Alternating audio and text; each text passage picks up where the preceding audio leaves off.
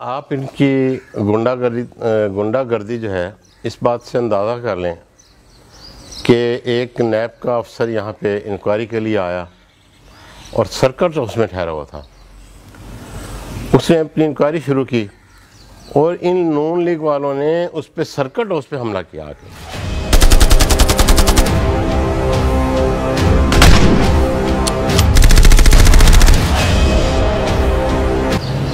حلقہ میرا اس وقت جو موجودہ ہے وہ خرم دستگیر والا ایٹی ون ہے، پرانا عثمان ابراہیم والا ہے۔ ایک زمین یہاں گجرا والا میں ہے تقریباً دو سو سنتالیس ایکڑ، دو سو سنتالیس کنال۔ وہ لوگوں سے لی گئی چڑیا گھر کے لیے اور پارک کے لیے، جو کہ گجرا والا کا دل ہے۔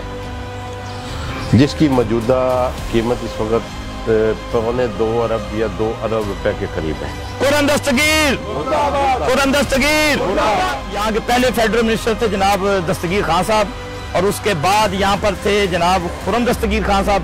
اور انہی کے آواریوں نے یہاں پر اسٹیڈیا گھر کی زمین پہ، انہی انہی کے ایک قریبی عزیز نے، اور یہاں پہ ایک فیکٹری بنائی ہوئی ہے جو تین ایکڑ سے زیادہ رقبے پہ محیط ہے۔ اور اس کے علاوہ اس کے گرد و نواح میں انہی کے چیئرمین جو سابق کونسلر حضرات، انہوں نے چھوٹی چھوٹی حویلیاں اور ڈیرے بنا لی ہیں۔ دس سال سے نون لیگ کی گورنمنٹ چلی آ رہی ہے۔ پانچ سال ہو گیا مجھے اس کیس کو فالو کرتے ہوئے۔ ٹھیک ہے؟ ابھی تک کوئی چیز نہیں ہلی اپنی جگہ سے۔ کیوں؟ نون لیگ کی سپورٹ ہے پیچھے۔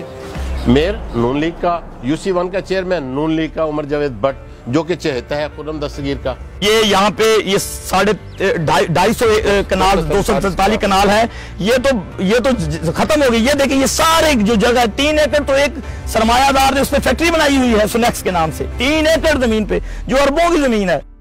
مسٹر ثاقب نثار صاحب سے گزارش کرنا چاہتا ہوں کہ ان کی کرپشن کے میرے پاس جو موجود ہیں، یہ کاغذ میرے پاس موجود ہیں نون لیگ والوں کے، جو انہوں نے زمین بیچی ہے ہمارے گجرا والے میں ڈیڑھ سے دو ارب روپے کی۔